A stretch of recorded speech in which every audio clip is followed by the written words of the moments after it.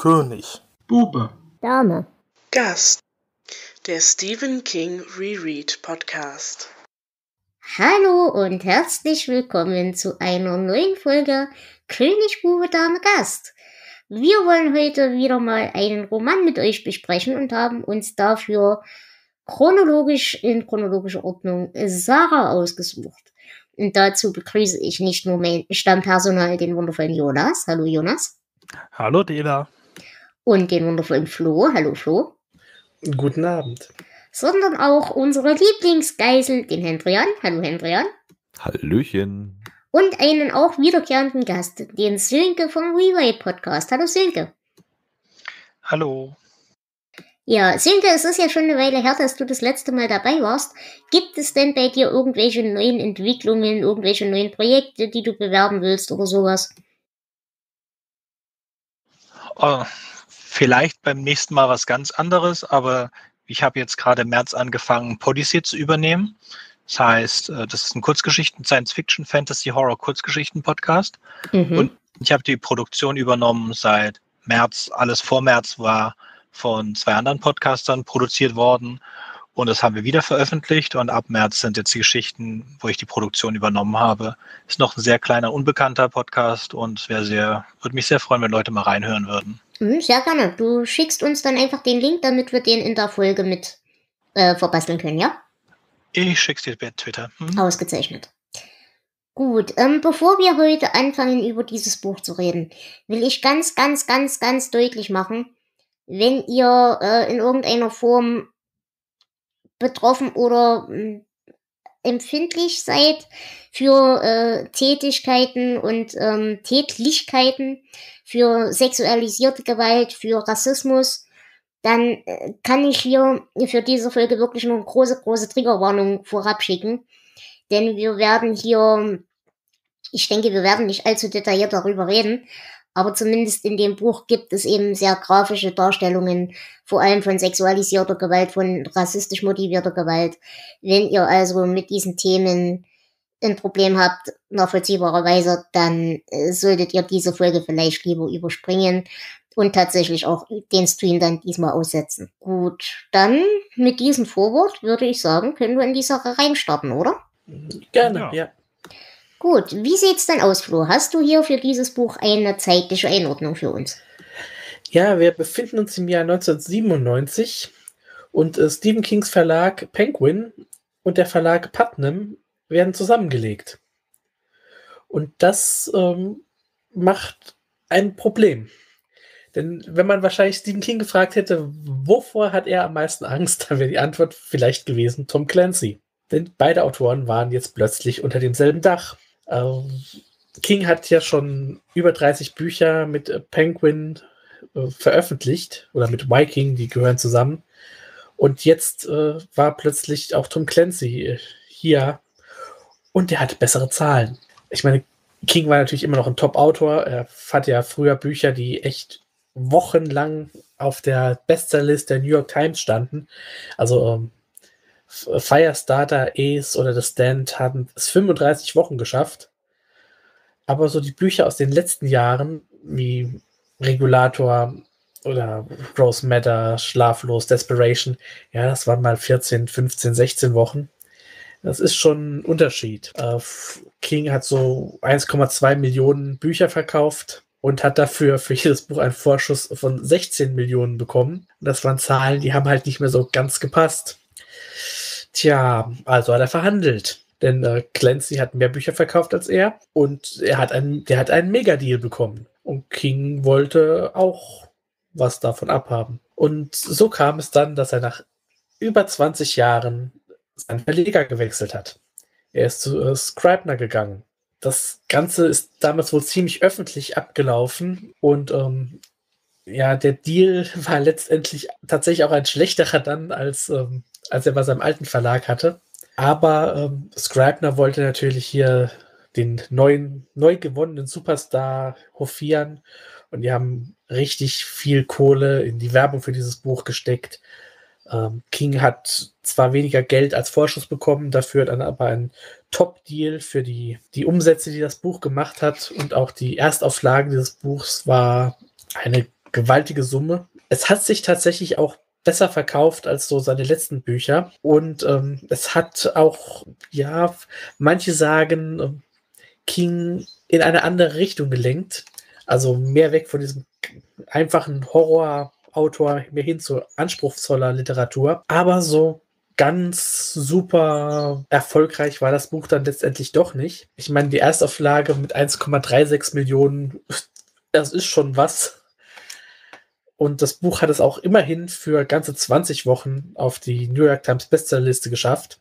Aber ob sich die Fans heute noch groß daran erinnern und ob sich das lohnt, das müssen wir, glaube ich, heute erstmal besprechen. Und worum es denn in Back of Bones, so ist der Originaltitel, in Sarah geht, das erzählt uns jetzt der Jonas. Der verwitwete Autor Mike Noonan beschließt, seine Schreibblockade zu bekämpfen, indem er sein Sommerhaus aufsucht, in dem er seit dem Tod seiner Frau Joe vor einigen Jahren nicht mehr gewesen ist.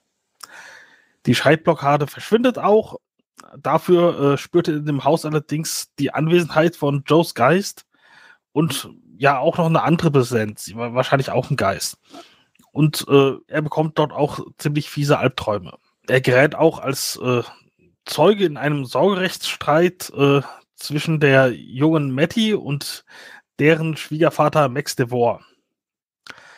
Äh, schließlich stellt sich heraus, dass äh, dieser Max und nee, dass Max Vorfahre und Mikes äh, Vorfahr irgendwie Urgroßonkel oder sowas äh, mit ein paar anderen die Sängerin Sarah äh, Tidewell vergewaltigt und anschließend dann sie und ihren Sohn ermordet haben.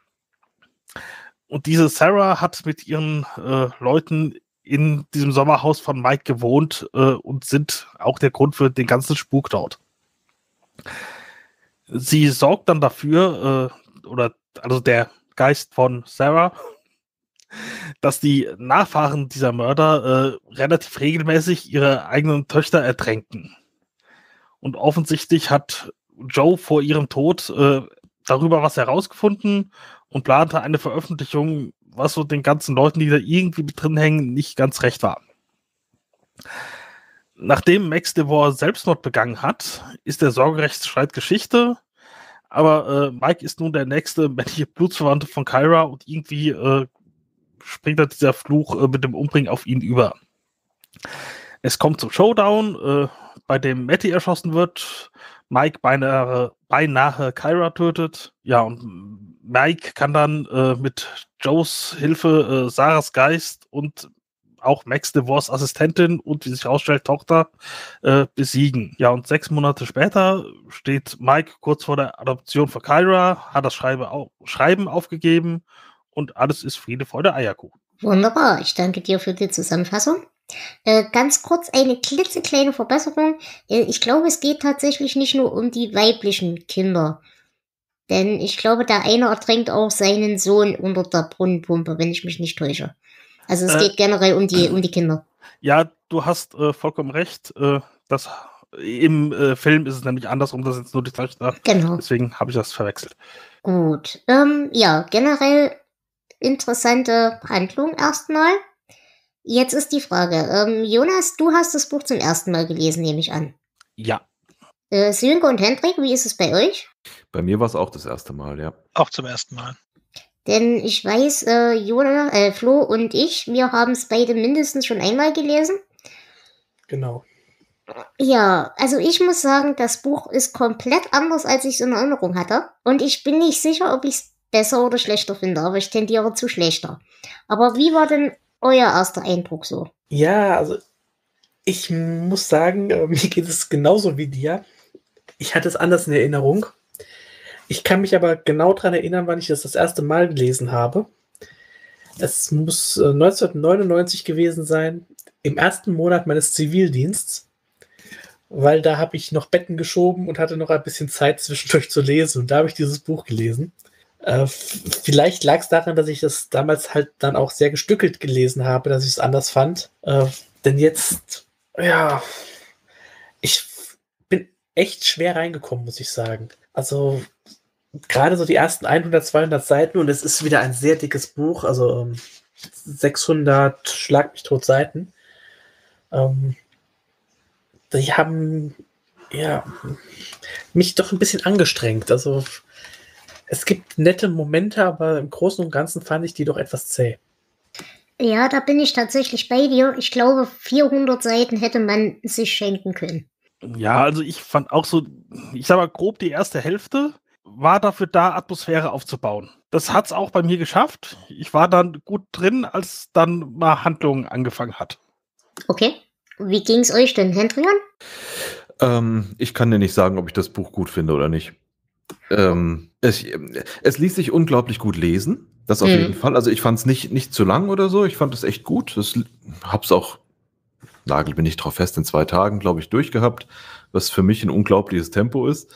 Ähm, aber ich fand es von der Art, wie es geschrieben ist, sehr schwierig, weil ich es zeitweise sehr, sehr verwirrend fand und mir nicht sicher war, ob er eine Geschichte am Stück erzählen wollte oder das Ding aus mehreren Stücken zusammengestückelt hat. Ähm, ja, ich bin, ich bin unsicher, was ich davon halten soll von dem Buch. Mhm. Okay. Sönke? Also ich habe ja das englischsprachige Hörbuch gehört, ungekürzt, gelesen von Stephen King. Da wusste ich schon, dass ihm das, also Stephen King, sehr am Herzen liegt und habe danach äh, gleich On Writing hinterhergelegt. Äh, und in On Writing geht er auch extra auf Sarah ein. Ich finde es auch, es lässt sich sehr gut runterlesen und es hat äh, eine der stärksten Szenen, die ich von Stephen King kenne, drin. Aber na, ist brutal langweilig am Anfang. Und vor allen Dingen ist mir aufgefallen, dass ich dann, wenn ich On Writing gelesen hatte, kam mir das alles sehr, sehr bekannt vor. Und das liegt daran, dass das alles in Sarah auch drin steht. Du hast ja diesen, äh, es wird sehr viel über die Schriftstellerei erzählt und das gefällt mir ja ebenfalls als Schriftsteller ganz nett und da höre ich ja gerne, was Stephen King mir versucht zu erklären, aber ich denke mal, den meisten Leuten wird es eher nicht so toll finden. Und ich habe wirklich nicht mitbekommen am Anfang, das passiert mir sehr selten, warum was mit der Frau passiert ist. Ich dachte dann, okay, die Frau tot, nochmal zurück. Wird das ein bisschen genauer erklärt? Nein, muss man wirklich ein bisschen weiterhören, bis man es dann versteht, warum, was mit der Frau schiefgegangen ist. Und das ist auch so der Attention Hook, ähm, also die, die, die Aufmerksamkeit, die dich eigentlich diese 400 Seiten tragen soll, bevor es dann endlich mit Sarah losgeht. Ja, ist gut, handwerklich gut, aber jetzt nicht, nicht das Beste. Und da muss ich halt sagen, das hat bei mir komplett versagt. Diese ganze Geschichte mit der Frau und ja, und war die schwanger und hat sie ihn betrogen, das ging mir so auf den Keks und das war so völlig irrelevant für mich. Und das hat mir überhaupt nichts gegeben. Aber vielleicht sollten wir hier wirklich ein bisschen einsteigen, denn das ist auch ein Punkt, der mich massiv gestört hat an dem Buch. Ähm, reden wir mal über den Hauptcharakter. Ich habe, das ist übrigens schon wieder symptomatisch, den äh, Namen vergessen. Könnt ihr mir den Namen nochmal sagen? Mike Noonan. Mike Noonan. Ähm, habt ihr irgendeine Form von Gefühl für diese Person bekommen? Weil ich überhaupt nicht. Und wenn, dann waren alle Gefühle, die ich dafür bekommen habe, zutiefst unsympathisch. Also mein Gefühl, was ich für ihn bekommen habe, ist eigentlich großteils, dass ich nicht nachvollziehen kann, was er tut. Sowohl ähm, mit, wie du schon richtig sagst, mit äh, seiner verstorbenen Frau. Seine Re Reaktion kann ich sehr oft nicht nachvollziehen, als auch seine Reaktion, wenn er auf diese Geister trifft. Die Geschichte ganz cool, aber wie der, wie der Hauptdarsteller daran geht, pff, nicht meine Welt. Ja, er handelt sehr seltsam da. Kann ich dir recht geben. Naja, gut, ich meine, dieses seltsam Handeln, hattet ihr das schon, bevor er äh, zu Sarah Lacht gegangen ist? Oder hattet Ja. ihr das, also schon vorher? Ja. Ja, von Anfang Okay. an. Gut. Ist aber auch so, dass, also wie gesagt, es hilft sehr, On-Writing zu lesen das, danach, weil in On-Writing erklärt ja Stephen King sich selbst ein bisschen, gibt so eine, äh, e- eigentlich ist das On-Writing viel zu wenig überschreiben, es ist viel mehr über sein eigenes Leben. Und wenn man das als Background nimmt für den Noonan und sagt, okay, Noonan ist ein hundertprozentiger Stand-in für Stephen King als Charakter, dann erklärt das sich ein bisschen. Also der Stephen King und Noonan reagieren halt gleich komisch auf bestimmte Sachen, wo man halt denkt, okay, kann man so machen, muss man nicht. Ja, aber ich hätte jetzt tatsächlich ähm, auch gesagt, ab dem Zeitpunkt, wo er in Sarah Lacht ist, und das kommt ja tatsächlich erst mit dem Ende, mit der Auflösung raus, kannst du halt nicht mehr sagen, wie zuverlässig dieser Erzähler ist. Und beziehungsweise wie sehr er schon vielleicht tatsächlich unter unbewusster Beeinflussung stand durch diesen, durch diesen Dämon, durch diesen Outsider oder was auch immer es ist. Ähm, das fände ich also unter dem Aspekt noch ein bisschen erklärlich. Aber ich gebe dir natürlich recht, da ist ein Stand-in für King selbst, das ist klar. Aber ich habe einfach mit dem Charakter so wahnsinnig viele Probleme gehabt. Ähm, weil es halt gerade zum Beispiel um diese ganze Thematik geht, äh, Selbstbild, Machotum, dieser ganze Blödsinn, den er bei anderen Leuten immer kritisiert und aber selber vollkommen internalisiert hat. Wisst ihr ungefähr, was ich meine? Ich fand zum Beispiel seinen, seinen Schwager, den fand ich klasse gezeichnet. Der hat mir wirklich Spaß gemacht. Von dem hätte ich auch tatsächlich gerne mehr gelesen. Ich, ich fand ihn einfach nur klischeebeladen. Also er war ein Abziehbild und ich meine, King hat ja, wir hatten ja vor kurzem erst Stark. Äh, wie hieß der? Ähm, Ted Beaumont war ja genauso dieses Autoren-Stand-in wie hier Mike Noonan. In den konnte ich mich reinversetzen. Das hier ist so, der ist so langweilig und allglatt, das ist einfach mein Interesse an ihm abgelaufen. Hm. Nein, aber zum Beispiel, es gibt so ein paar, ein paar Stellen im Buch. Ich komme zurecht, sagte ich. Er nickte. Sagen wir jedenfalls, wenn wir gefragt werden, richtig? Wir? Wir Männer. Ich komme zurecht. Und wenn nicht, achten wir darauf, dass es niemand merkt. Dann ein bisschen später. Ich versuchte es mit einer Therapie, gab aber nach fünf Sitzungen wieder auf, weil ich zu dem Ergebnis kam, dass die Probleme des Therapeuten weitaus schlimmer waren als meine. Und das setzt sich halt fort, ähm, dann auch später, als es eben um diese ganze, hm, ja, sexuell aufgeladenen Träume und so weiter geht. Und auch um Matty. Ich glaube, für Männer ist Liebe etwas, das zu gleichen Teilen aus Lust und Staunen besteht. Den Teil mit dem Staunen verstehen Frauen. Den Teil mit der Lust glauben sie nur zu verstehen. Nur wenige, vielleicht fünf von hundert, haben eine Vorstellung davon, was Lust wirklich ist und wie tief sie reicht. Das ist für ihren Schlaf und für ihren Seelenfrieden wahrscheinlich ganz gut so. Und ich spreche nicht von der Lust von Satyren, Vergewaltigern und Kinderschändern. Ich spreche von der Lust von Schuhverkäufern und Highschool-Rektoren. So, und jetzt bin ich jetzt die einzige Frau in einer Runde von vier Männern und ich möchte, dass ihr mir das erklärt. Oder äh, da, da, dass ihr diese These bewertet. Die ist ganz einfach, King schreibt Bullshit. Ja, kann ich zustimmen, sehe ich genauso. Naja, er steht halt auch hinter Telekinese und so einen ganzen Kram. Das sind halt auch Dinge, die er damals geglaubt hat. Ja, ist, äh, mir waren die alle egal, die ganzen Figuren. Ich hab, konnte mich dann noch weniger mit denen auseinandersetzen oder nachempfinden, als ich das sonst mit, mit King-Figuren konnte. Ich, wie gesagt, es war auch nicht seine Stärke. Und es ist ja mehr als ein bisschen Humbug dabei diesmal.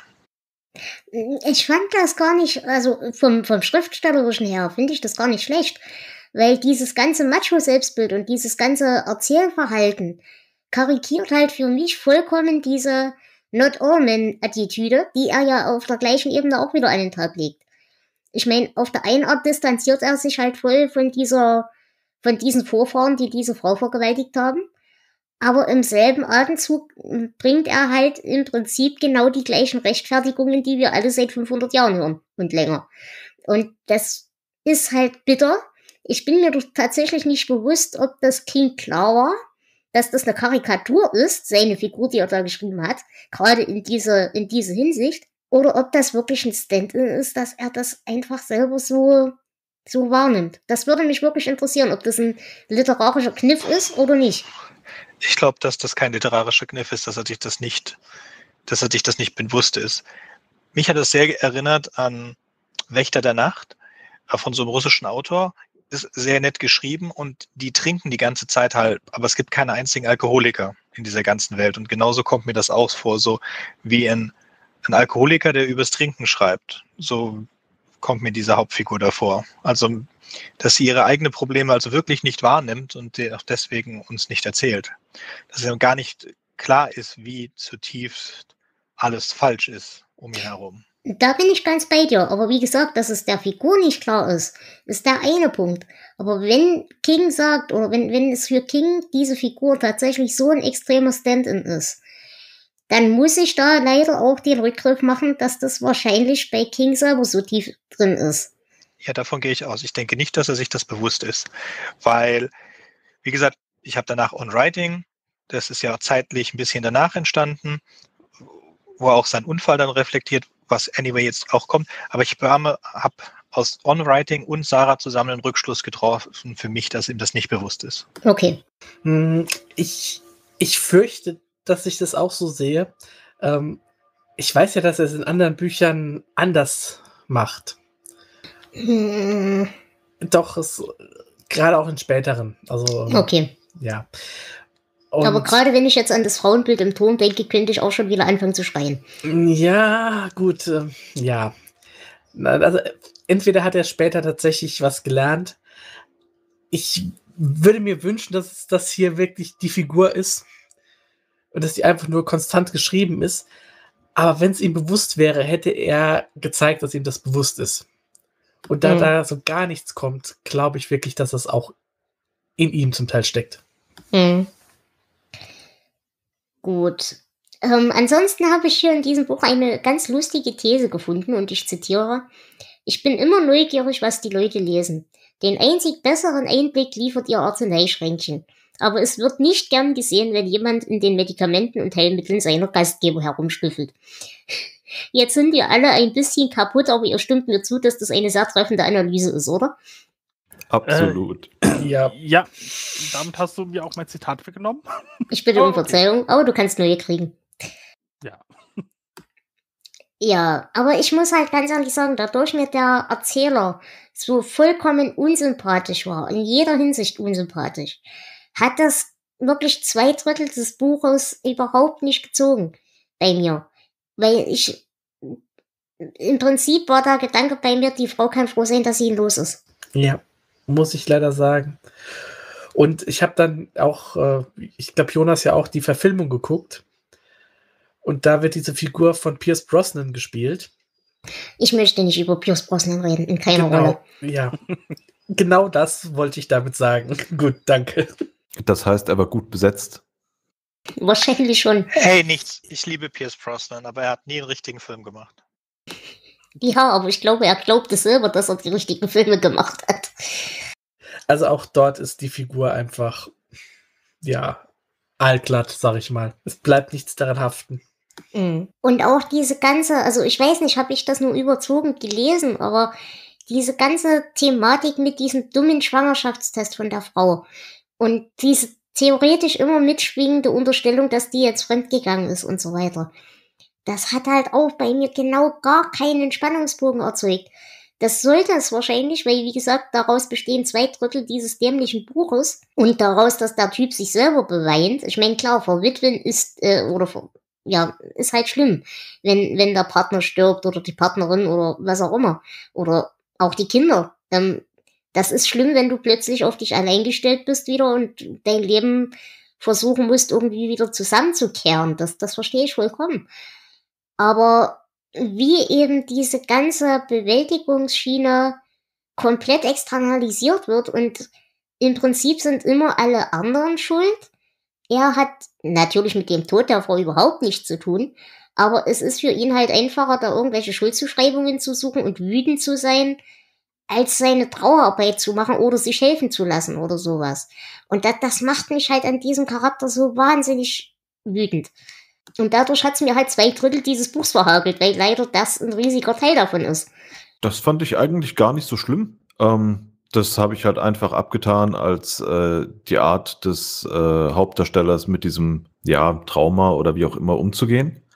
Ähm, ich meine, Wut ist ja auch eine Bewältigungsstrategie, so ist es ja nicht. Ähm, man wollte ihn halt die ganze Zeit schütteln und anschreien, get over it. Aber ich fand das nicht, nicht so schlimm, als dass es mir deswegen die Geschichte verhagelt hätte. Gehen wir mal anders an die Sache ran. Was hat dir denn die Geschichte verhagelt? Also.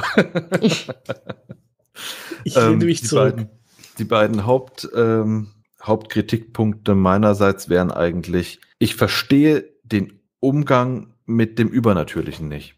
Okay. Ähm, mir kam es so vor, von wegen, er entdeckt in seinem Haus ist ein Geist. Er erschreckt sich einmal und danach ist der Geist für ihn einfach ein Mitbewohner.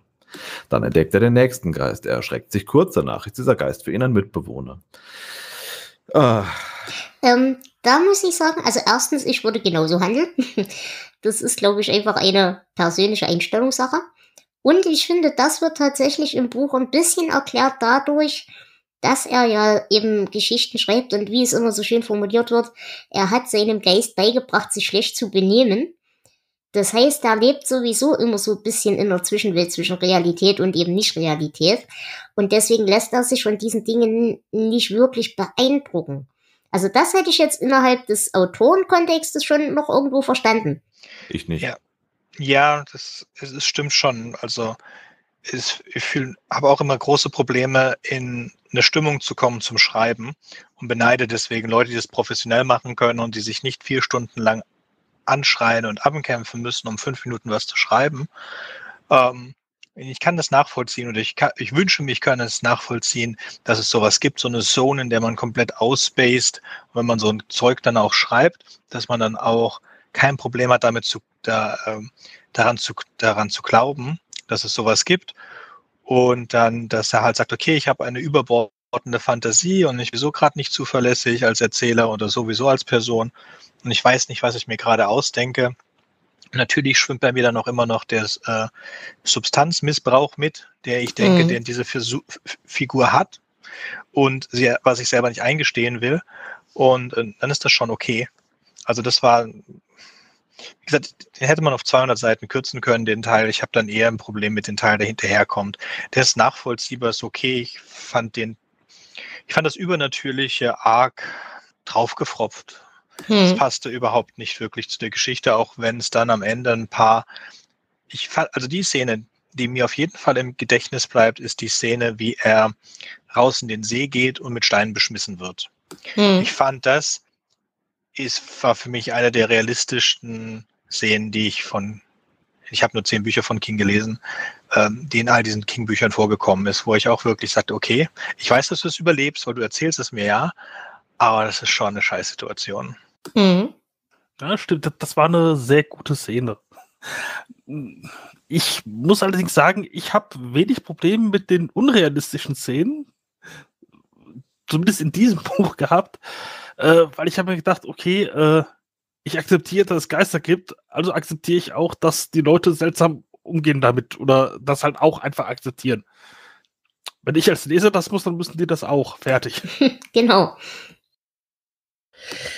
Ja, ich habe irgendwann dann festgestellt, in was für eine Art Buch ich mich befinde. Ähm, nämlich, dass es so wirklich ganz klassische Gothic Literature ist. Also so, mm wir haben hier so einen romantischen Geisterroman.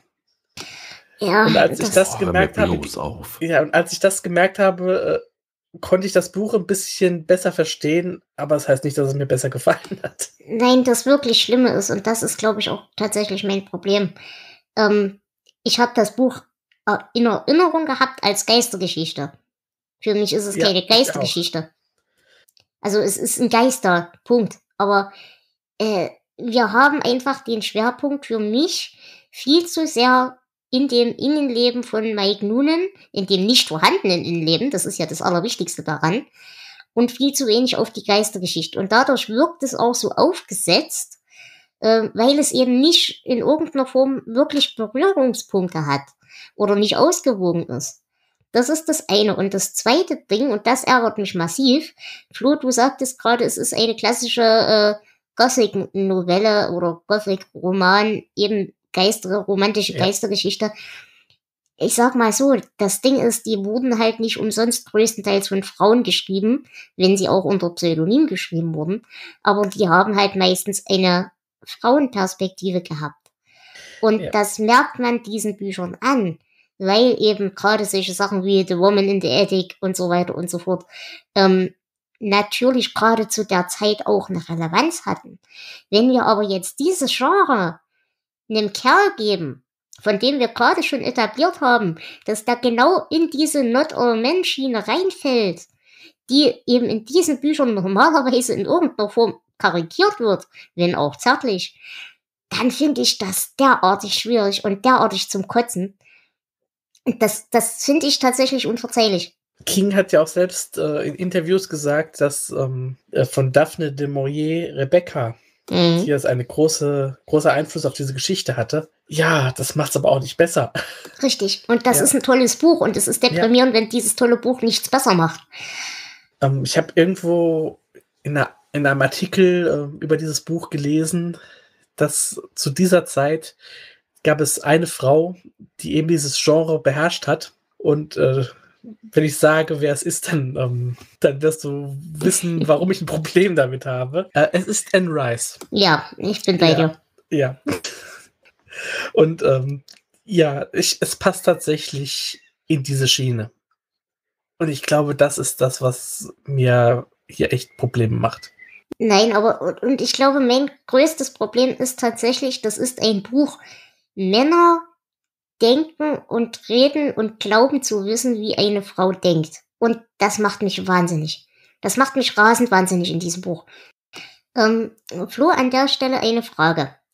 Wir haben ja nun in diesem Buch, da kommen wir gleich in den Verknüpfungen dazu, äh, viele Personen, viele Orte, die wir wieder kennen und so weiter. Ähm, Mir ging es persönlich so, dass hier das Setting dieser Kleinstadt, dieses, dieses kleinen Fleckchen Landes, komplett versagt hat. Das ist kein Castle Rock, das ist nicht mal ein Derry und nicht mal Derry finde ich gut gezeichnet. Ja, wir, wir sind ja hier wirklich sehr nah an Castle Rock. Und nee, das, der Charme, den diese Stadt hatte, der ist komplett weg. Und ich hatte auch vom ersten Lesen damals noch in Erinnerung, dass äh, dieses alte Herrenhaus Sarah lacht, dass das auch, ja, wie das alte Mastenhaus oder so ein Charakter Ja, genau, ist. genau, genau. Ja, gar nicht. Es ist so 0815 geblieben. Ich fand das, war richtig enttäuscht. Ähm, Hendrian, äh, du hast ja mit uns über Star gesprochen. Genau. Das heißt, du kennst das Setting so ein bisschen. Ach, wie ging's dir damit? Hast du hier ein Gefühl für die Umgebung gekriegt oder gar nicht? Ja, habe ich. Ähm, konnte mich da eigentlich recht gut, recht gut rein, reindenken, sag ich mal. Ähm, ihr habt mich nur gerade ein bisschen schockiert mit Sarah lacht wäre ein Herrenhaus. Ich hab, ich bin immer noch der Überzeugung, das ist eine Blockhütte mit Veranda. Du Das hattest, die du hattest die von das Spiel im Kopf so ein bisschen, ne? Ach so, das hast du ja nicht mitgelesen. Äh, ja, das stimmt. Das ist für- aber äh, beim, jetzt bei dem Lesen ging es mir auch so. Da war das ein großer Bungalow im Prinzip mit hübsch. Genau. Und ich habe aber beim ersten Lesen, wo, wo das für mich noch eine Geistergeschichte war, damals TM, ähm, da hatte ich eben genau dieses, dieses äh, Herrenhaus-Feeling. Das ist sehr lustig. Ja, ich bin da auch immer hin und her geschwankt. Als er es das erste Mal erwähnt, erwähnt hat, äh, habe ich auch gedacht, okay, jetzt ist halt ein, ein Holzhaus, so eine Blockhüttenartig, aber dann war von Westflügel und Ostflügel die Rede und ich dachte, dass es wirklich Flügel sind, dass halt ein großes Haus ist. Hm. Und Sarah äh, Tidwell oder Tidwell, äh, die hat er ja auch mit der gesamten Musikertruppe drin gewohnt, deswegen so klein kann es nicht gewesen sein. Äh, na, das habe ich tatsächlich anders verstanden. Ich habe das so verstanden, das Gelände, wo jetzt das Haus steht, da haben die gewohnt und hatten da aber noch so kleine Blockhütten. Ach so, okay. Dann, Aber das kann auch sein, dass ich es falsch verstanden habe. Das will ich jetzt nicht ausschließen. das weiß ich nicht. Außerdem haben die Leute damals viel weniger Platz gebraucht. Die waren viel kleiner. Verstehe. Nein, aber das, das ist halt tatsächlich so. Das hat für mich, das ganze Setting hat überhaupt nicht funktioniert. Auch dieser, dieser Hausmeister, der mir am Anfang ja schon recht sympathisch war. Solche kleinen Details, ja, die waren ganz hübsch. Aber es hat einfach im Großen und Ganzen völlig versagt, mir da eine Atmosphäre zu vermitteln. Und selbst diese Traumsequenzen, die ja eigentlich da voll, voll gut darin sind, äh, Atmosphäre zu vermitteln und Stimmungen, selbst die haben bei mir überhaupt nicht gezogen. Ehrlich nicht. Mhm. Weil gerade das, also sobald es quasi von der realen Welt wegging, fand ich das Buch großartig. In- Inhaltlich ja, da bin ich ganz bei dir. Nee, auch von, vom, vom, äh, von der Stimmung her. Okay, nee, das, das hat bei mir tatsächlich nicht funktioniert. Sönke, wie ging's dir denn damit? Äh, Mir ist die Gewichtung ein bisschen komisch aufgefallen. Also wie gesagt, ich habe es von King gelesen, von King geschrieben, gehört. Und ähm, die, ich finde dann gegen Ende, wenn die spannenden Teile kommen sollten, dann überhastet das Buch ein bisschen und haut dann eins nach dem anderen und haut auch extrem über die Stränge dann mit dieser, mit dieser Begr Be Grund, warum Sarah so verrückt geworden ist und so böse. Und das kam dann extrem überstürzt. Es fiel, ja. Ich glaube, ab dem Grillen bei der Mutter des Mädchens, ähm, Matti? Matti, ab dann wird's krass schnell. Und ich denke, da hätte man 200 Seiten mehr gebraucht am Anfang, 200 Seiten weniger. Aber ich glaube, äh, er hatte so das Gefühl, er hatte keinen Bock mehr, dann großartig, wollte es irgendwie fertig bringen. Ja, also da ist nicht viel Logik drin, aber es hat halt einen sehr guten Fluss. Er weiß halt, wie man schreibt und es zieht auch durch. Und ich würde das so als ein bisschen Popcorn-Kino mal nebenher, aber danach ist es ganz okay. Zwei, drei nette Stellen, aber hätte man auch woanders unterbringen können und ansonsten bleibt nichts übrig. Mhm. Wie ging's euch denn? Also wie gesagt, der einzige Charakter, den ich toll fand in dem Buch, war der Schwager von ihm. Und, und äh, jetzt werdet ihr alle überrascht sein, dass ich das sage, ich fand das Kind cool. Ja, ich glaube, das ist äh, jung genug, damit es dich doch nicht nervt. Hat denn, hat denn die Kleine bei euch funktioniert? Äh, schon. Die war lustig. Absolut. Besser als andere Figuren, ja. Ja, aber ich komme mit dem Alter überhaupt nicht zurecht. Die sollte, weiß nicht, drei, vier Jahre alt sein und sie benimmt sich aber eher wie eine sieben, sechs, siebenjährige vielleicht. Also das stimmte für mich, mich nicht. Naja, gut, Also hab- das, diese, diese voralterten Kinder, die haben wir ja bei King eigentlich regelmäßig. Die sind alle nicht so alt, wie sie sind, angeblich. Ja, es liegt wahrscheinlich, könnte auch sein, dass es daran liegt, dass er entweder hochbegabte Kinder hat oder von seinen Kindern so überzeugt ist. Aber meine Kinder benehmen sich so nicht. Und auch was sein On-Writing über seine eigenen Kinder sagt, hören die sich auch alle nach viel zu alt an für ihr eigentlich als Alters. Es könnte also sein, dass es tatsächlich seine, seine Sicht auf die Realität ist. Hm. Aber abgesehen davon war sie okay. So, und dann kommen wir wieder zu dem nächsten Punkt, der mich fürchterlich aufgeregt hat. Ab dem Punkt, wo Matty ins Spiel kam, ging mir das Buch noch mehr auf den Keks als am Anfang schon. Weil natürlich, es gibt da eine junge Frau in diesem ganzen Kontext. Äh, Ist euch das übrigens aufgefallen? In diesem Dorf gibt es keine Frauen. Äh, Es gibt nur die eine Frau vom Hausmeister, die nur dafür da ist, ihn an der Tür wieder abzuweisen. Ansonsten gibt es keine Frauen in dieser Geschichte. Die Putzfrau. Naja, die alte äh. Gespensterfrau da. Ja, eben, alte Gespensterfrauen. Aber alte Gespensterfrauen, da sind wir wieder beim Thema. Alter ist automatisch desexualisierend. Und die Bibliothekarin gibt es auch noch. Na gut, aber so, es ist diese junge Frau da und natürlich sind sowohl der Privatdetektiv als auch der Anwalt als auch eben unser Erzähler sofort hin und weg von dieser wunderschönen Frau, die eigentlich mit dieser ganzen Scheiße überhaupt nichts zu tun haben will, aber halt irgendwie aus ihrer Zwangslage wieder raus muss. Natürlich ist die Zwangslage auch immer so, dass die Frau ist, die gerettet werden muss, hat mich auch wieder aufgeregt. Äh, warum? Weil es eine Seifenoper ist. Ja, es war mir eigentlich zu egal. Ich fand es dann, als sie dann gestorben ist, in dieser ersten Action-Szene eigentlich des Buches, oder eine zweite Action-Szene, das mit dem, mit dem, mit den Steinen ist vorher. Ja, dann fand ich das schon ein bisschen hart, vor allen Dingen, wie soll es denn dann noch großartig weitergehen? Und das schien ihm dann auch nicht klar gewesen zu sein, weil er sich dann in die Geil, also dann, also es schwankt halt so zu, zwischen zwei Drittel Gerichtsdrama mit ein bisschen Action und einem Drittel Geistergeschichte, als ob die irgendwie da noch rein musste, weil er nicht ein reines, nicht einen reinen Tom Clancy Action-Thriller schreiben wollte. Ja, und vor allem ist für einen Action-Thriller halt echt zu wenig Action drin. Also, Ja, ja, das sowieso. Dann halt ein Drama.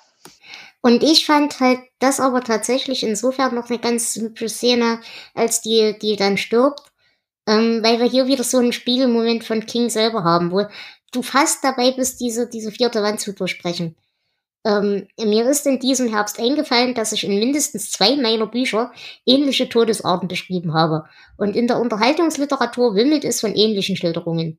Hat man ein moralisches Dilemma aufgebaut und weiß nicht, wie man es lösen soll, fühlt sich der Protagoni- Protagonist zu einer Frau hingezogen, die, sagen wir, viel zu jung für ihn ist?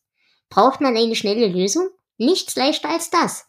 Wenn die Geschichte in eine Sackgasse gerät, lass den Mann mit der Knarre auftreten. Raymond Chandler hat das gesagt. Ich liebe Raymond Chandler.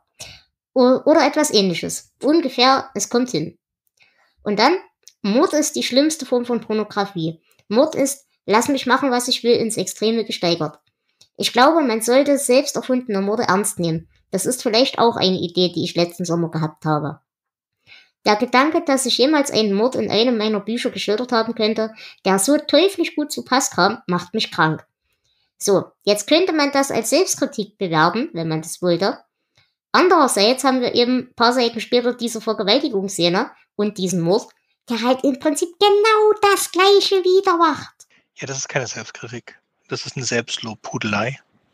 Das, das ganze Buch ist ja, ich sehe das, diesen ganzen Teil mit dem Autoren mehr als so eine Vorwärmübung für dann On-Writing. Ich glaube, dass ihm dann, er hat das geschrieben und dann kam ihm dann die Idee, dass er, also ein bisschen später dann, dass er On-Writing schreiben sollte und dass er das eigentlich schon da gemacht hat.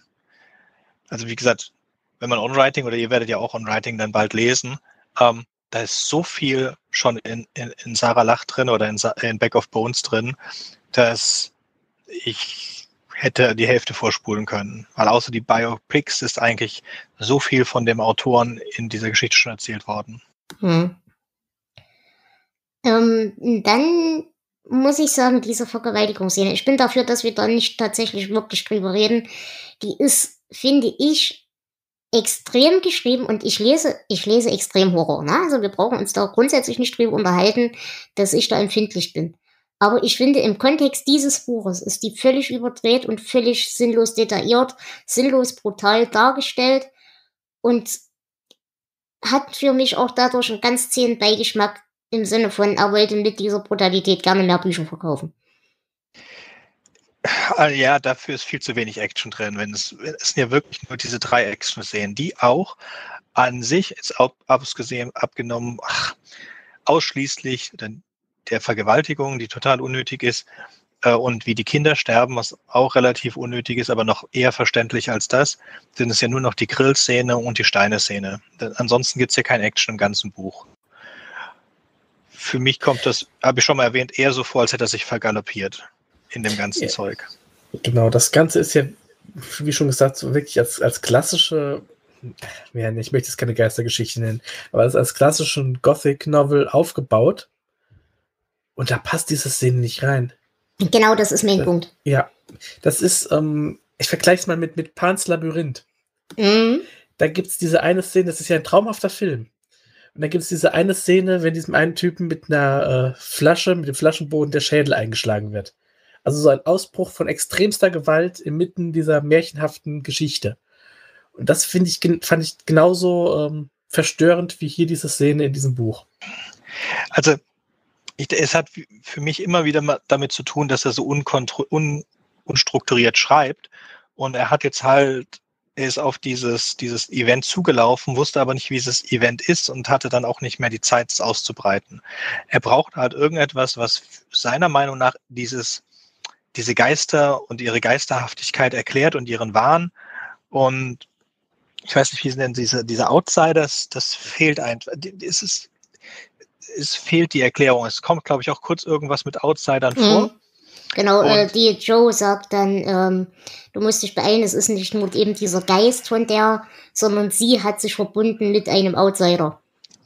Ja, aber das ist alles ohne Erklärung. Also es ist wirklich sehr komisch, wenn du diese, diese ewig langen Streckenteil da vorne hast. Und dann hättest du es entweder machen können, halt wie andere Geschichten, wie bei S und so weiter, dann genauso ausführlich bis zum Ende halt durcherzählen. Aber es dann einfach zu lassen und dann hinterher das Tempo so anzuziehen und in so extreme Sachen zu gehen, um dann irgendwas zu haben, das dir einen Ausgleich gibt, also diese Brutalität meiner Meinung nach soll die das Gewicht höher legen. Also das habt ihr ja auch gesagt, soll das Gewicht dieser Szene höher legen, anstatt es mal in 50 Seiten anständig zu erklären. Ja, man hätte eine, eine Rückblende machen können, dass sie irgendwen angerufen hat äh, und so sich mit dem Outsider verbinden können oder hätte den Outsider einbringen können als weitere Figur. Irgendwie, aber er hatte da keine mhm. Ahnung. Da, hm, da bin ich nicht ganz eurer Meinung. Ähm, so schrecklich die Szene auch ist, finde ich sie als Erzählelement eigentlich ziemlich gut. Mhm. Weil für mich hat das gewirkt als äh, gelesener Schlag ins Gesicht. Ja, auf jeden um, Fall. Äh, zu verstehen oder zu erahnen, was, äh, was in Sarah vorgeht. Äh, vollkommen, ja. Und Dazu hättest du es aber eben nicht so grafisch gebraucht, glaube ich. Äh, weiß ich nicht, weil das Buch mich vorher so stell, äh, nicht stellenweise, ähm, streckenweise so mh, in eine Art Tran versetzt hat, Mhm. ähm, dass es diese Intensität gebraucht hat, um mich da wieder rauszuholen. Okay, ja, das kann ich nachvollziehen. Da das Buch ja eigentlich zu 60 Prozent eine äh, romantische Geschichte mit ein paar gruseligen Geistern ist, ähm, war das so eine, ja, so eine 180-Grad-Wendung mit Kopf angehauen am, an, der, äh, an der Autotür. Also, Mhm. Ja, Da will ich aber jetzt mm, mal erklären, warum ich mit dieser Szene so ein Problem habe. Ähm, ich habe gerade schon gesagt, diese ganze Argumentation vom, vom Erzähler ist für mich so eine Not All Men Erzählung. Und ich glaube, dass wir diese Vergewaltigung so überdreht dargestellt haben, hat für mich den Effekt, dass das, er pfeift einer Frau nur hinterher. Er ist ein guter Kerl. Ver versteht ihr, was ich meine? Diese, diese extreme Gewalt, die in dieser Szene durchkommt, die soll eigentlich eben abschreckend sein. Das ist sie halt auch. Einfach, wie du sagst, es ist ein Schlag ins Gesicht. Es sorgt aber, glaube ich, für mich wieder dafür, dass alle anderen, die eben äh, leichtere Übergriffe in irgendeiner Form begehen, sich damit rechtfertigen können, sie sind immer noch die Guten. Ver versteht ihr ungefähr meine, meine Gedankengänge? Das kam bei mir so überhaupt nicht durch. Also ich, es Mhm. kann durchaus sein, dass ich das überzogen lese, weil mich dieser Charakter so angekotzt hat in seiner ganzen Argumentation. Aber das ist halt für mich tatsächlich genau dieser. Ich weiß leider nicht, wie ich es besser ausdrücken soll. Das ist, Ja, aber auch davon kommt eigentlich viel zu sehr. Also es ist so eine Geschichte, wo die, Backstory der Leute mir komplett fehlt. Wo, wo wir in S hunderte von Rückblenden und Backstories zu den Leuten haben, fehlt das hier komplett. Wir haben hier diesen Bösen im Rollstuhl sitzen, dann haben wir diese extrem starke Szene mit den Steinen und am nächsten Tag ist er tot, weil er sich umgebracht hat. Einfach so aus dem kompletten Nichts. Wird einfach so abgebrochen, ähm, weil er nicht mehr wusste, wie er mit damit weiterkommt. Und er brauchte dann am Ende, okay, diese Motivation, dass die Sarah so böse ist. Also sie hat, wir haben ja gezeigt, auch nicht besonders toll in diesen paar eingestreuten Rückblenden, dass die an Kinder umgebracht worden sind. Ähm, au- auch das nicht detailliert genug, um es wirklich zu zeigen. Und er nimmt die Geister ja auch nicht wirklich ernst. Es ist so einfach aufgefropft und nothing.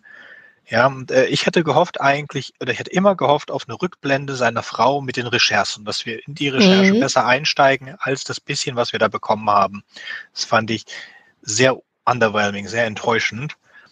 Und äh, die Szene kann man gerne so drin lassen, wie sie ist, aber dann muss man ein bisschen Backstory zu den einzelnen Figuren machen. Warum haben wir nicht, äh, springen wir nicht in die Vergangenheit von jeder einzelnen dieser Figuren über die ersten Seiten und haben eine, eine Backstory, was ihr, ihr Leben so gemacht hat, dass es so passiert ist.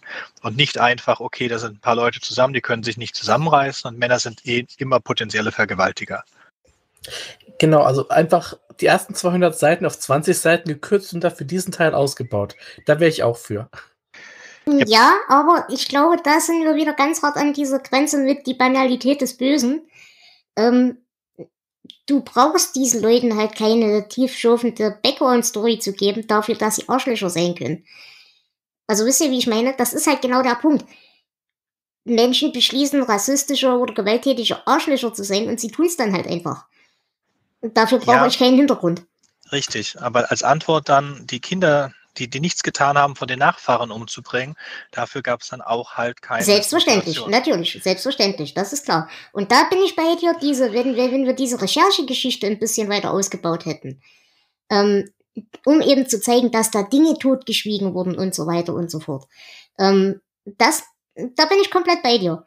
Aber tatsächlich für die Täter eine Hintergrundgeschichte, die hätte ich nicht gebraucht. Fein. Äh, So, so, finde ich. Mir fehlt halt diese komplette Motivation. Dann hätte ich, also zusätzlich zu dem, was ich gesagt hätte, fände ich, hätte ich in der Recherche halt noch die äh, Hände des Outsiders, also wie der Outsider im Hintergrund die Fäden äh, strickt. Oder wie er da irgendwie verantwortlich ist dafür und wie er dann auch den, also Sarah dazu bringt, das zu tun oder die Kraft zu geben, dazu das zu tun. Irgendwas in der Art, weil wie gesagt, es ist, ähm, oder lass jemand anderen den Geist sein, weil sie hatte nichts Großartiges mit ihnen zu tun. Die Typen hatten nichts großartig mit ihr zu tun. Es war sicherlich ein, ein, Verbrechen aus rassistischen Gründen und es war so, ein, so wurde es zumindest dargestellt, so ein Zufall, ungeplantes Verbrechen, das dann eskaliert ist. Ähm, aber es, ist, es erklärt nicht den, den Rest, es erklärt den Geist nicht oder irgendetwas davon. Dafür ist es viel zu wenig motiviert, meiner Meinung nach. Ja, und vor allem erklärt das für mich überhaupt nicht, warum der Typ jetzt unbedingt das Kind haben will. Also, er will es haben, um es zu opfern, um diese Sache zu Ende zu bringen? Oder wie versteht ihr das, dass der Devor das Kind überhaupt haben will?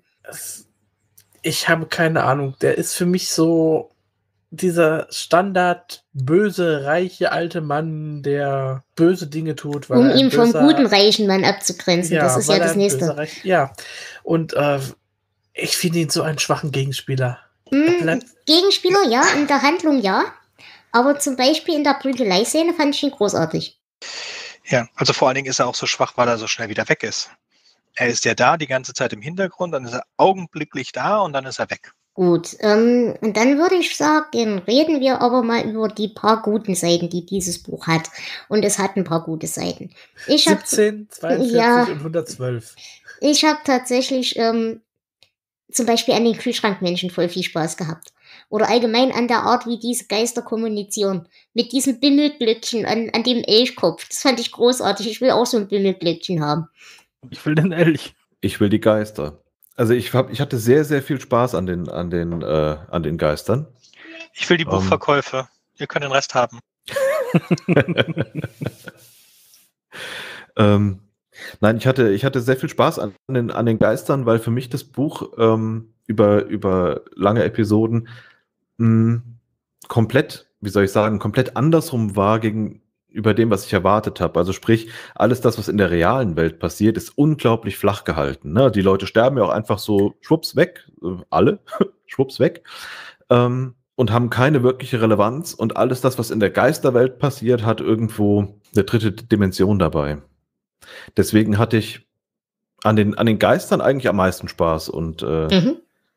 auch an diesen, wie soll ich sagen, diesen, diesen Schnittstellen zwischen, zwischen Geisterwelt und echter Welt. Mhm. Wie zum Beispiel dem Glöckchen und den Kühlschrank-Ding siehst und so.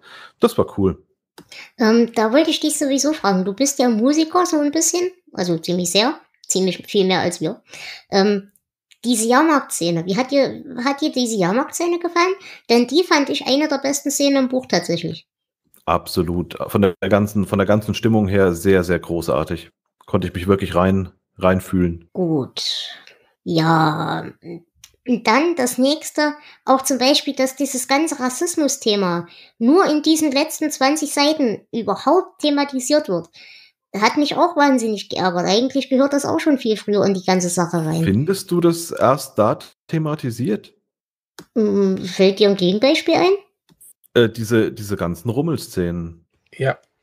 Naja, sobald, ja, sobald klar. Sarah dargestellt wird, wird die sehr als die Exotisierung. Als genau, ja, richtig. So mehr so als, als sonderbares Tier. Ja, da bin ich komplett bei dir. Aber äh, mich stört die Darstellung dieser rassistischen Gesellschaft, die es immer noch ist. Also die ist nicht vorhanden. Das stört mich. Die tun jetzt so, als sind sie alle gute, glückliche Bürger, aber sie schweigen halt diesen Teil der Geschichte immer noch tot und behalten nur den Teil der Geschichte, als eben diese tollen Musiker da waren, weil das ist ja, wir sind ja so weltoffen und so weiter und alles andere wird halt unter den Tisch gekehrt. Und dass du aber ansonsten zum Beispiel in dem ganzen Buch keine einzige farbige Person irgendwo siehst, ist halt auch kein Zufall. Mhm. Landleben in den 90ern. Ja, aber es wird sehr subtil thematisiert, äh, also zumindest von der Qualität her subtil, aber äh, einmal äh, ist dann, redet Mike mit irgendwem, ich, ich weiß nicht mehr mit wem, und der meinte, ach ja, aber das waren doch nur, und dann äh, verkneift er sich das ja. Wort, aber äh, ja, Mike weiß genau, worum es geht. Und da merkt man, es ist in den Leuten noch drin, aber sie versuchen es nicht zu zeigen, mhm. wenn Außenstehende dabei sind. Aber das ist halt auch echt gegen Ende vom Buch, wo es schon wirklich zum Ende hinzugeht. Ja, ich glaube aber fast, dass es Absicht ist weil es dann auch erst Mike dämmert. Okay, ja, okay. Ja, kann ich, kann ich akzeptieren. Stimmt. Gut, habt ihr jetzt noch Szenen, über die ihr reden möchtet? Ach so, eine Szene habe ich noch, die fand ich ganz, ganz äh, eindrücklich, als wir dann beschreiben, wie der eine bei diesem Waldbrand seine Tochter opfert. Die fand ich rein vom Setting her und von der Erzählweise richtig klasse. Die war richtig gut Oh beschrieben. ja. Ja. Äh, auch mit diesem, ja, äh, das Kleidchen anziehen und so weiter. Das, doch, das war gut. Gut. Habt ihr sonst noch was? Sonst würde ich in den nächsten Punkt gehen. Ich hab nichts mehr. Gut, dann würde ich sagen, Flo, reden wir über die Verknüpfungen. Ähm, fangen wir erstmal mit den Personen an, würde ich behaupten. Denn wir treffen hier Joe Weiser wieder, den kennen wir aus Schlaflos. Der empfiehlt äh, Ralph Roberts die Honigwabe zum Beispiel zum Einschlafen. Ja, und wir treffen ja auch Ralph Roberts selbst. Also ähm, Michael Noonan spricht auch mit ihm mal kurz. Genau, und es wird auch die Frau Lois erwähnt. Ja, ähm, dann haben wir zum Beispiel ähm, Bill Denborough. Also er ist ein Autor, den wir kennen ihn aus Ace, ähm, der von Mike Noonan gerne gelesen wird. Und als er zum ersten Mal das Haus betritt, hat er Angst, Microphone dass eine. Figur aus einem Roman von Bill Denbury ihn anfällt. Außerdem aus Ace wird die Lehrerin Mrs. Moran erwähnt. Genau, also die äh, Beaumonts erwähnen wir ja auch aus, äh, wie gesagt, Strike. Äh, Thad Beaumont, äh, dass er Selbstmord begangen hat und man weiß nicht, ob es was mit der Schreibblockade zu tun hatte oder nicht. Ähm, Penguin erwähnen wir ja auch und genauso Sheriff Rickwick, Richwick. Ähm, und ich fand es ganz lustig, dass wir die Inside View äh, noch erwähnen. Die kennen wir ja schon aus Dead Zone und aus Der Nachtflieger. Äh, weiterhin erwähnen wir eine Mrs. Denvers, die auch in, in Vatertag aufgetaucht ist. Und das ist der, äh, Creepshow-Segment. Und äh, wir haben eine Figur namens Arlene Cullum. Dieser Name taucht auch in Dolores und das Monstrum auf, aber es ist nicht klar, ob das äh, drei verschiedene Figuren sind oder immer dieselbe. Mhm. Ansonsten habe ich ja gerade schon erwähnt, der Hausmeister ist auch der Hausmeister von Jesse Burlingame aus das Spiel. Und wir haben hier auch wieder ein paar Hinweise auf 19 beziehungsweise auf äh, den Turm. Und da wollte ich dich fragen, Flo, ähm, als wir auf dieser Jahrmarktszene sind und dann dieses Manderley, Senderley, Benderley, Kenderley Wortspiel machen, äh, ob du das auch als Turmreferenz verstanden hast. Ähm, ist möglich, habe ich jetzt nicht im Kopf gehabt, weil das für mich halt so ein, eine Anspielung auf ähm, Rebecca war. Aber ja, kann sein. Und ansonsten haben wir halt hier wieder eine Turmreferenz insofern, dass ähm, während er seine mm, ja, geistige Zeitreise quasi macht, ähm, gelangt ja Mike durch diverse Türen in die Realität zurück und hört da unter anderem ähm, diesen Satz äh, aus Dallas, als der äh, JFK erschossen wird. Nein, die Frau des Präsidenten wurde nicht getroffen, das ist sein Blut auf ihren Strümpfen. Und genau dieselben Szenen kriegt auch Jake Chambers mit. Genau, und äh, der Anschlag ist auch ähm, eine Tür, die an diesen Ort führt. Genau. Und wie gesagt, wir haben äh, schon thematisiert, es gibt hier einen Outsider und Outsider haben wir schon etabliert bei Desperation, bei Bibliothekspolizist und natürlich bei S. Ja, und äh, Regulator. Und wir werden es später noch öfter haben, zum Beispiel in Der Outsider. Äh, weiterhin haben wir einen Verweis auf Atlantis. Ähm, der Künstler William Ackerman kommt in beiden Romanen vor und es gibt auch in beiden Romanen eine Figur namens Kenny Auster, wobei nicht ganz klar ist, ob das hier auch wieder dieselbe Figur ist.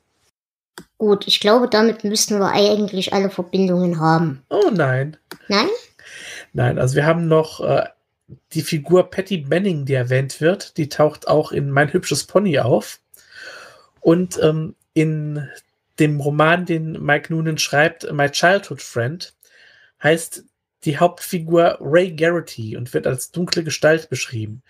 Ray Garrity ist äh, eine Figur aus Todesmarsch. Yep. Ähm, gut, weiter haben wir natürlich schon erwähnt äh, Castle Rock und Derry. Wir haben äh, das Shawshank-Gefängnis. Ähm, wir haben ja diverse Anspielungen. Also Derry ist einer der Hauptorte, an dem das Ganze spielt. Und wir haben eine Figur, die erwähnt wird, namens Nemaya Bannerman, die möglicherweise ein Vorfahre von unserem guten Sheriff Bannerman war. Wunderbar. Dann würde ich jetzt noch ganz kurz über die Symbolik reden, aber hier bleibe ich wirklich oberflächlich. Wie gesagt, der Originaltitel von dem Buch ist Bag of Bones. Und da würde ich halt sagen, da äh, haben wir einmal dieses Spiel mit Dingen ohne Substanz, also ohne, ohne Lebensessenz. Das ist eben einerseits dieses Leben ohne die Liebe, seit die Frau tot ist, das Leben ohne die Berufung, der man nachgeht, äh, durch seine Schreibblockade. Aber eben andererseits Dinge, die uns verfolgen, also dieses klassische Bild von der Leiche im Keller, ähm, die wir hier verarbeitet haben. Ansonsten haben wir eben natürlich genau den Punkt wieder drin, äh, Klassismus durch Matti und den, den äh, Stiefvater und so weiter und so fort. Ähm, selbstverständlich die Themen Sexismus, Rassismus haben wir drin. Lustigerweise haben wir natürlich wieder den klassischen A Crooked Mind und A Crooked Body durchgehende War. Und ja, na, also es ist eigentlich hier keine wirklich subtile Sache dabei. Natürlich diese ganze Opferungssymbolik, die ist halt wirklich klassisch. Da brauchen wir, glaube ich, auch nicht drüber reden. Aber ansonsten, ja, ist es halt eigentlich 0815 Zeug, was wir immer haben. Genau, mit dem Back of Bones. Ähm, es ist ja etwas, dieser Sack voller Knochen, der in der deutschen Übersetzung nicht so gut rüberkommt. Der taucht ja im Buch auch öfter auf. Um, ähm, am Anfang wird er so als Sack voller Knochen, beschreibt sich Mike selbst, als er beschreiben will, wie, wie, ja, wie leer und sinnlos sein Leben ist, ohne seine Frau. Ähm, später fragt er sich zum Beispiel mal, was denn ein Schriftsteller ist, der nichts mehr zum Papier bringt, also der einfach nichts mehr schafft. Die Antwort ist ein Sack voller Knochen. Und am Ende der Geschichte haben wir natürlich das Skelett von Sarah und ihrem Sohn. Äh, das ist ein Sack voller Knochen. Also, da muss ich dazu sagen, ich wusste nicht, dass das auf Englisch so heißt. Und selbst mir ist diese Sache aufgefallen. Auch im Deutschen. Gut. Ähm, gibt es denn hierfür Verwertungen? Und ich weiß, ihr beide habt den Film gesehen, also sprecht mal ein bisschen drüber. Da möchte ich mich, wo wir beim Thema Sack voll Knochen sind, echt beschweren. Weil als in dem Film dann Sarah und ihr Kind, in dem Fall eine Tochter, ausgegraben werden, sind es nicht die Knochen, sondern es sind die kompletten Körper, die da drin sind. Das hat mich so aufgeregt. Das, äh, nee, das, das war nicht gut. Ja, es ist auch kein Film, es ist tatsächlich eine vierstündige Miniserie. Das heißt, wer das Buch zäh findet, ähm, ja, es wird nicht besser. Ähm, es ist tatsächlich aber sehr werkgetreu. Fandest du? Also, bis auf diesen Sack von Knochen. Der doch ziemlich. Ähm, ja, ich, ich glaube, es also, sind viele Kleinigkeiten, die mich stören. Das äh, ist aber immer so. Ja. Also, ich fand es genauso langweilig wie das Buch, sagen wir mal so.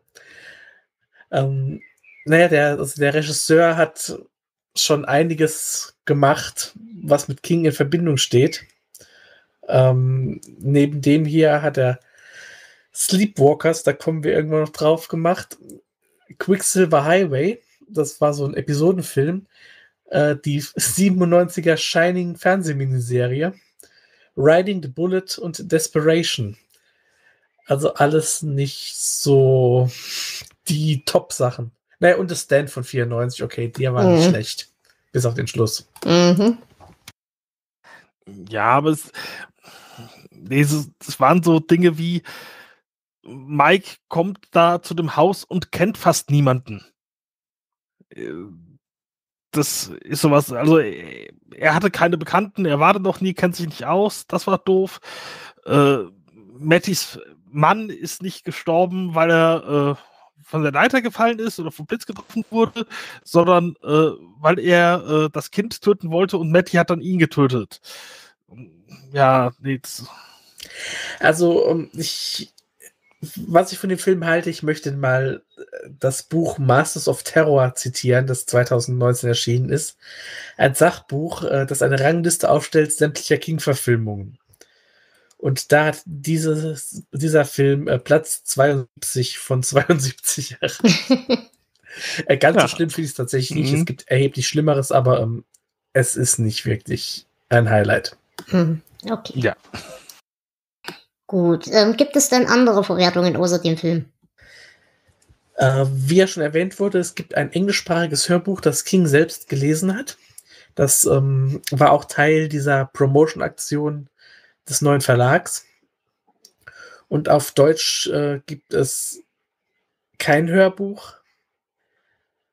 Ähm, ansonsten, ja, keine Verwertungen, aber vielleicht noch die Bemerkung, dass das Buch 1999 beim Bram Stoker Award und beim Locus Award, also zwei bekannte Literaturpreise, in der Kategorie Bester Horrorroman gewonnen hat.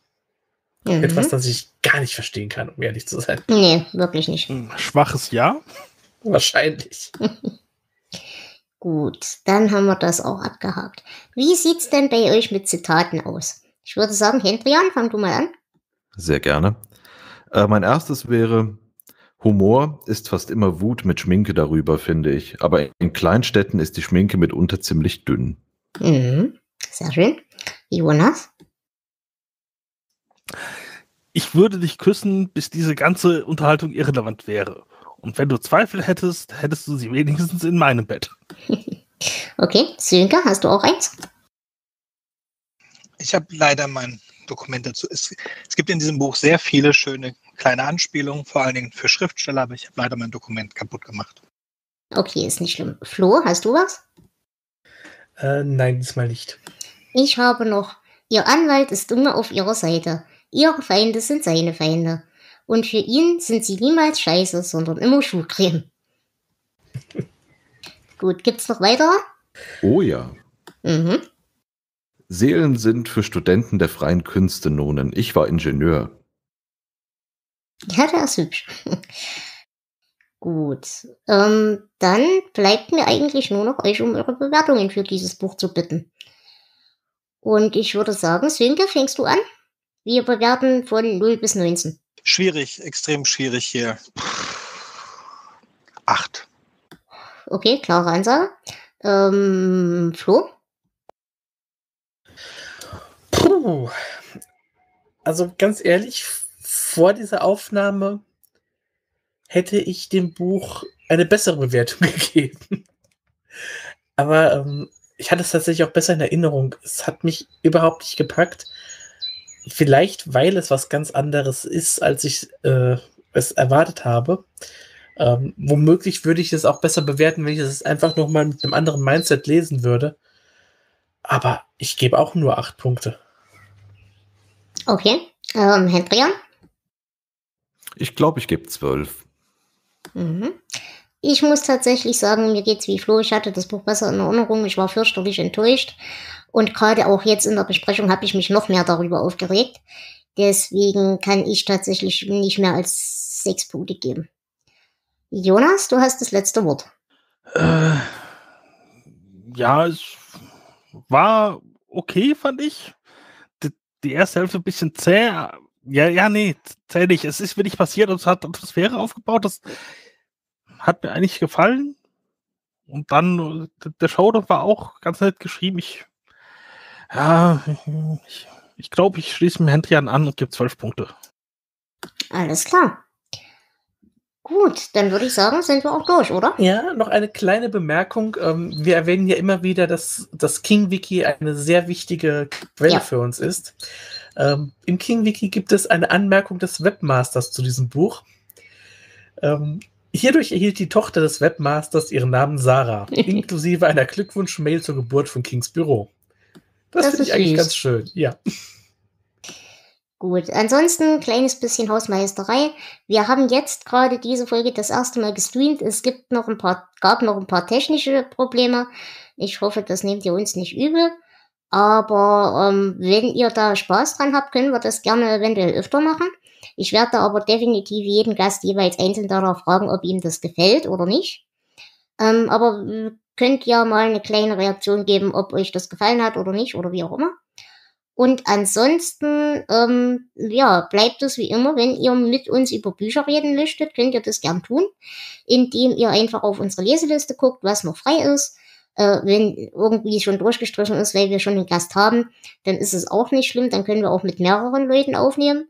Wir brauchen nur Teamspeak oder Skype, wobei uns Teamspeak immer lieber ist. Und Wenn ihr die Quellen nicht habt, um zu lesen, dann sagt uns Bescheid. Wir würden uns dann darum kümmern, dass ihr entsprechend versorgt seid. Womit geht's denn als nächstes weiter? Ja, ich denke, wir haben jetzt genug Bücher gelesen. Wir lesen das nächste Mal einen Film. Wir haben tatsächlich ein Drehbuch vor uns. Das nächste ist Der Sturm des Jahrhunderts. Wunderbar, ich freue mich drauf. Gut, ansonsten sind wir für euch wie immer über Twitter und so weiter erreichbar, wenn ihr was wollt.